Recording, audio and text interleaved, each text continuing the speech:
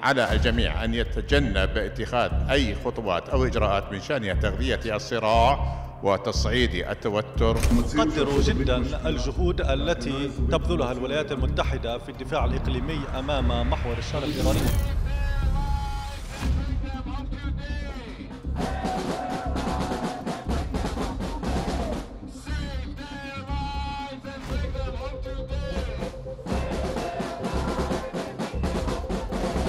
تكثيف الجهود المكثفة من أجل التوصل لوقف اتفاق خاص بإطلاق النار في غزة وإطلاق سراح الرهائن والانتهاء من هذا الموضوع.